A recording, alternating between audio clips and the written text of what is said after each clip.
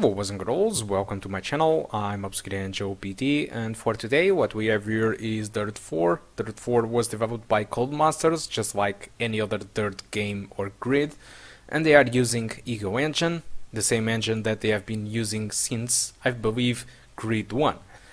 Obviously, completely improved. So, for today uh, we are going to play this game on this laptop with the GT 740M and for the graphic settings I decided to go uh, I mean I decided to record this video with 720p with a mix of settings between the ultra low and the low settings. So it looks like this but I will show you a little bit better what I decided to do okay?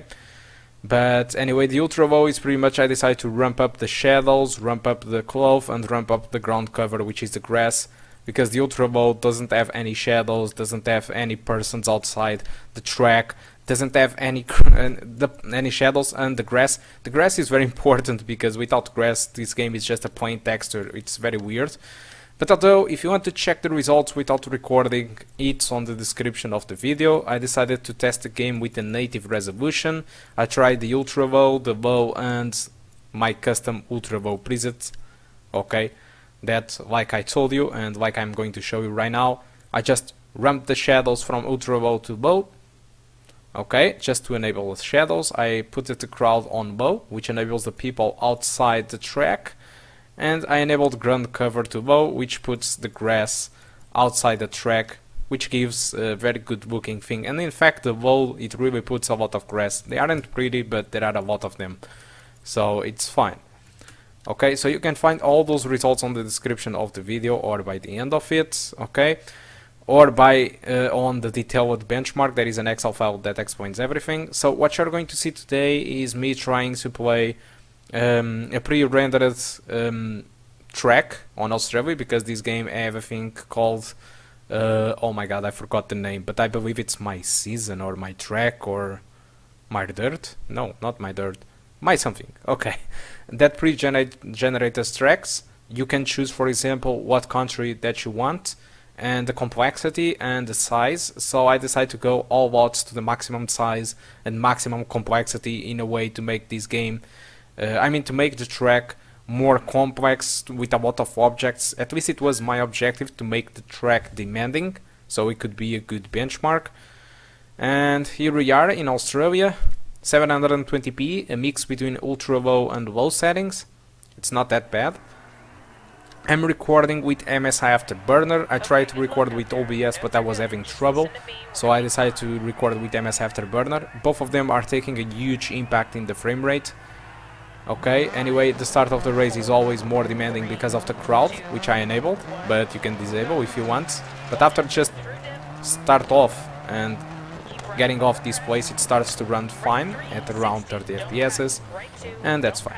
So let's talk a little bit more about Dirt 4. So what is Dirt 4? Dirt 4 is this um, a continuation, a sequel to Dirt 3 or Dirt 2? Well, for your information, it's not. Dirt 4 is essentially a Dirt Rally 1.5.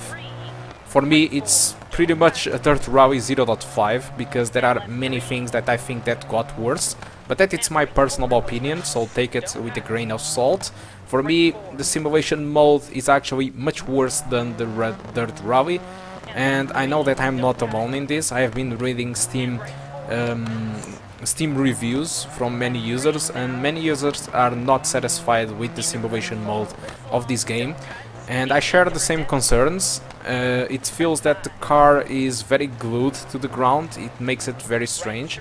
I'm not sure if it is more realistic or not, but uh, surely it is, for me in a game doesn't make any sense. Dirt Rally was awesome, I love Dirt Rally regarding the physics and the simulation.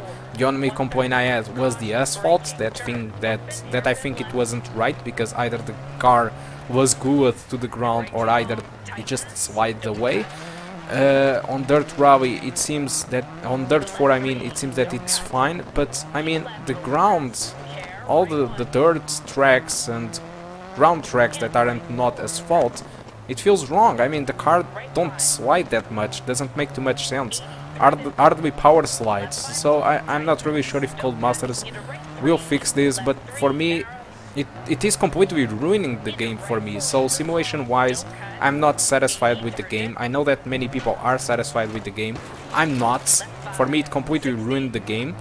But what about the arcade side? I didn't try the arcade side because for me it doesn't make too much sense to play this game as an arcade style, but I know that many people will do it. That It's called the gamer mode. It enables all the aids that to help you uh, drive the car on these tracks. Um, but I decided to not try out. Although, if you are expecting to see, um, since they made on a trailer, um, you could view like uh, things from Dirt 2 and Dirt 3, like uh, land rush and tracks and buggies. Well, in fact, there isn't too much stuff on this game about this. It's only three tracks from Land Rush, so it's pretty much like nothing. It means nothing in this game, in fact, so Dirt 2 or Dirt 3 in this game is zero. Oh, sorry, I left my pen, god down. but there is nothing in this game that resembles Dirt 2 or Dirt 3. This is pretty much Dirt Rally uh, with the broken physics, in my opinion. Many people will disagree, but that's my personal opinion. I didn't like that. Other thing I didn't like about this game was the tracks. I mean, these pre-generated tracks is a good idea on the paper, although in practice, after one hour, you start to understand all the blocks, because this is basically like this.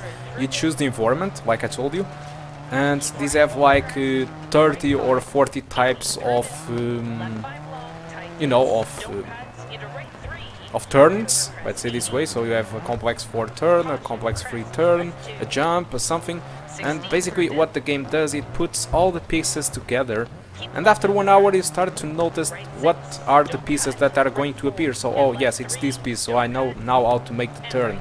So it's not like the marketing that they are claiming that, okay, so you can play a thousand hours, um, and all the tracks will will look the different, but that's not really the case. You start to understand uh, every part of the tracks, even if they are not ordered in the same way. So disappointment, a big disappointment in the pre-generated tracks. Also, I'm also disappointed a lot with uh, tracks that are that were built by Codemasters.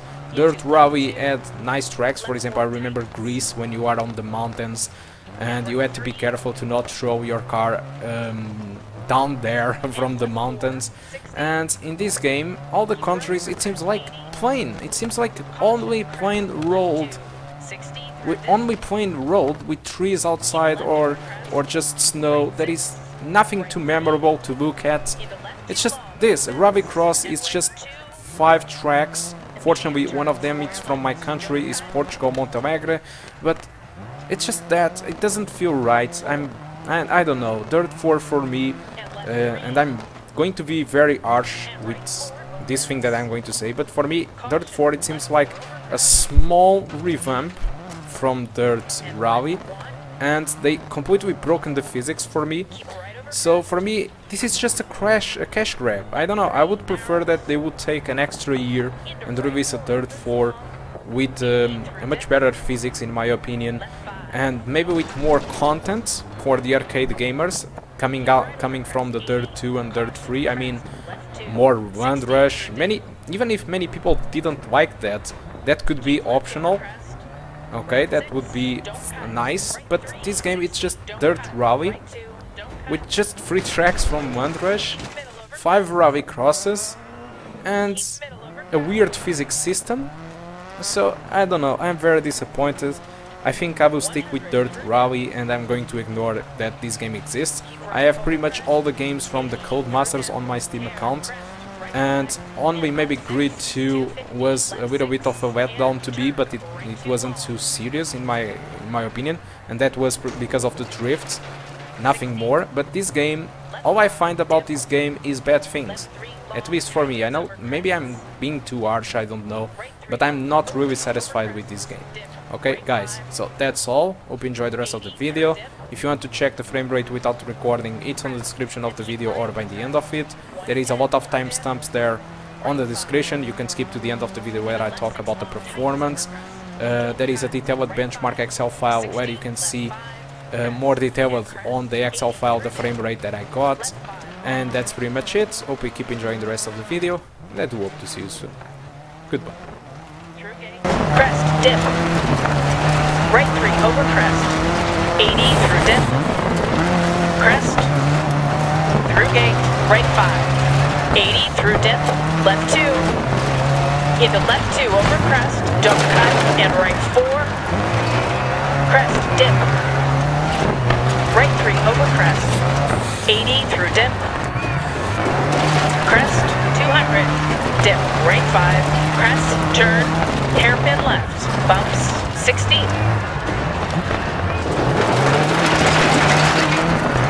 80 through dip, crest, and keep right over crest, 110 through dip, 80 through dip, left 3 over crest, dip, crest, through gate, left 5, into right 3 over crest, don't cut, and left 4, into right 5, through gate, 60, right 3 long, opens over crests, dip, right 5, left 5, right 6, long, over crest, don't cut. 5, don't cut, left 4. And caution, right 2, over crest. Into right 2, don't cut, 80, through dip. Left 5, dip, bump, 100, through dip, and crest, jump, maybe, 80, left 5, into right 4, and left 3 over crest, don't cut.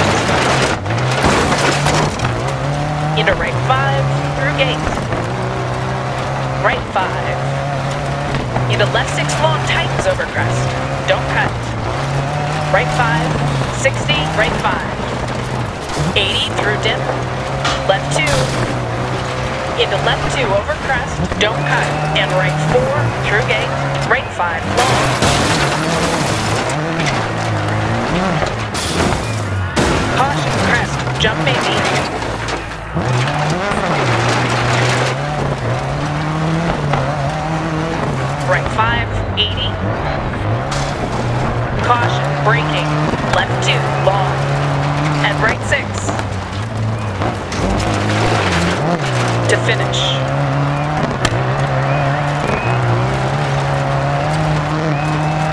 Take her slow to the control.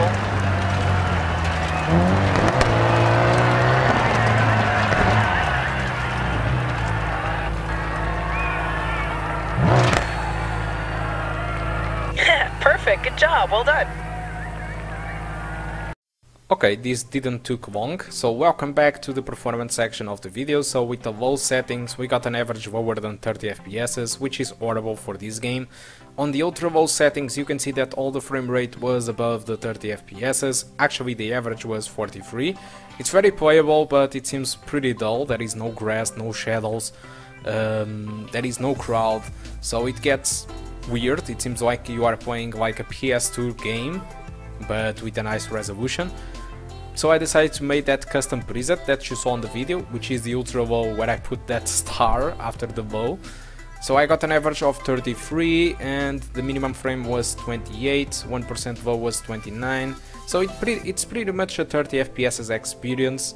And if you noticed, only 2% of the times the game dropped from 30 FPS on that track. So it's nothing too serious. Ultra low never dropped from the 30s and well the low settings was actually a little bit bad in that regard because it dropped a lot from the 30 fps it was 88% so it's not too good so I fully recommend you to go either with ultra low settings if you can bear those graphics or you can try to make a custom preset like I made you can select whatever that you want.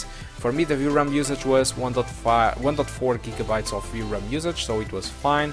4 gigabytes of RAM usage, so maybe you can run this game if you have 4 gigabytes of RAM. CPU usage was between the 40 to 60%, so it was fine, and GPU usage was the limited factor, like always, of this laptop, so the GPU usage was at its maximum. So guys, think about for watch think about for think about for what sorry think about for watching and hope you keep enjoying the rest of the videos that I will be releasing and see you next time. My English is so broken